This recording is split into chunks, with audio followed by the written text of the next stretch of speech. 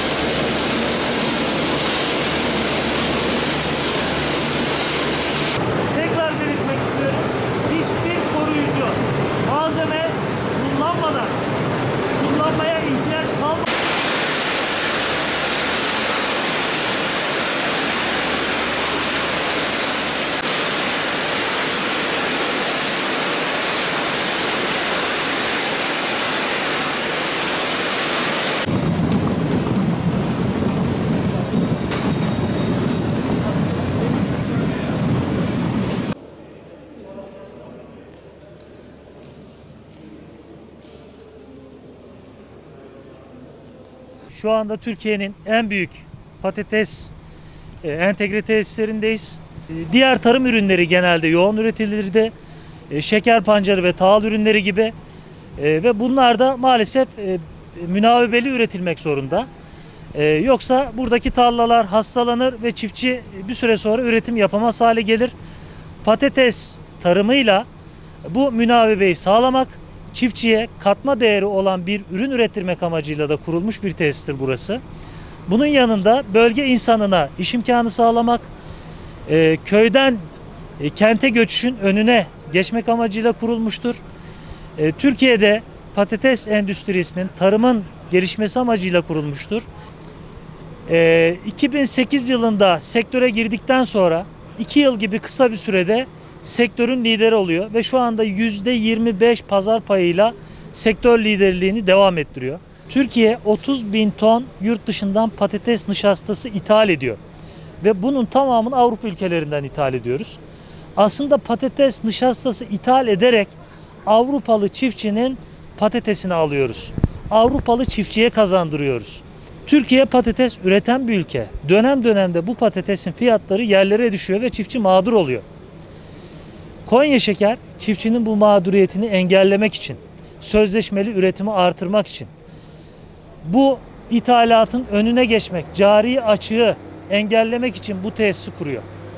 Ve 2019 yılında bu tesis Türkiye'nin ihtiyacının %30'unu karşıladı. İnşallah devletimizin desteğiyle bu rakam çok daha üst noktalara çıkacak. Hedef tamamını karşılamak. Bu tesisin başka bir özelliği var. Bu tesis Türkiye'nin ilk ve dünyanın da sayılı sıfır atıkla çalışan bir entegre tesisi. Şu anda yıllık 80 bin ton e, katı atığı bu tesiste işliyoruz. Buradan 10 milyon metreküp gaz ve 19 milyon kilowatt elektrik üretiyoruz. Bu ürettiğimiz 19 milyon kilowatt elektrik Seydişehir ve Beyşehir ilçelerinin yıllık aydınlatma ihtiyacını sağlayabilecek kapasitede.